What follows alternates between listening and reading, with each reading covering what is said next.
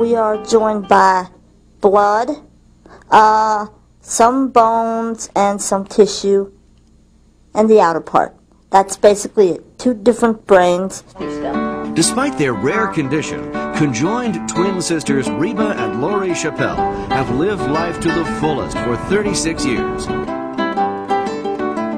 Side by side since conception, they have shared every moment in each other's life. Where's Reba, oh, half the size of Lori, Okay. spends much of her day atop a modified bar stool. whatever, do it. whatever you want. And wherever they go, these uh-huh. two do their best to live absolutely normal lives. Gotta get there. Whether shopping, stopping for fast food, or getting a trim at the mall barbershop, Reba and Lori take their unusual condition in perfect stride. You want this side matching this side.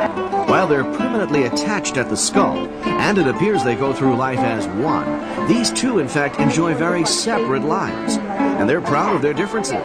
I'm a shopper and she's not. I'm a country singer. I I had boyfriends. I wasn't a dater. Just get up and you go. You know. While their personalities are anything but identical, and they will forever face in opposite directions, the life of Lori and Reba is a never ending dance of cooperation. And uh,